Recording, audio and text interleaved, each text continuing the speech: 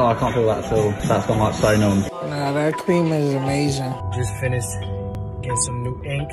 Four hour tat session, did not feel a thing. Tattoo numbing cream got me completely numb for the whole entire session. I've used a lot of numbing creams in my career. People would get like scar tissues and stuff from it, just not healing properly. Then I came across this stuff.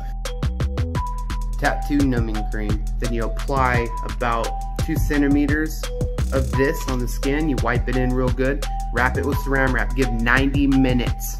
By the time you're ready to go, you pull that wrap off, you clean it with some rubbing alcohol, you put your stencil on. Stuff is amazing. It doesn't distort the skin, it doesn't distort the color. Any pain? No, great stuff, man.